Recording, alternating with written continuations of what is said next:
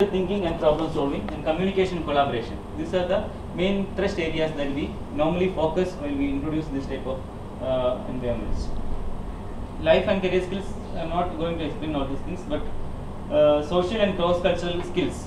So, so how you improve that among the students community. So only way we have is the network and internet technologies that we can introduce and uh, interact with the same type of uh, research groups among the country. So nationwide there is an initiative to connect all the institutions among uh, means uh, research institutions and technical institutions and national institutes uh, and libraries as, as well to uh, connect uh, national wide So they are uh, laying the infrastructure in terms of NKN, National Knowledge Network. So they are started laying down the optical fiber cable for connecting the institution. You can also be part of that and you will get the connection free of cost. So that is a fantastic uh, initiative that we can. And information literacy, media literacy, ICT literacy, and multimedia literacy. So, so these are the things that we normally. So there are multiple other uh, thousands of other disciplines that we have to enhance while you teach the subject as well. So that is the importance.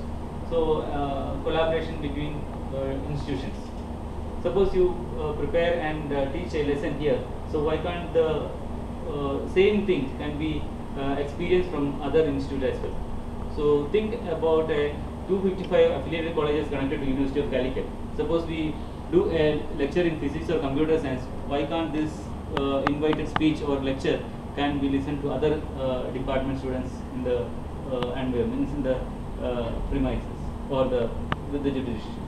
So and across the university, suppose a Kerala University is uh, giving a lecture or IIT is giving a lecture, but can we listen from here and the knowledge sharing can be happen at any time, anywhere. That is the idea.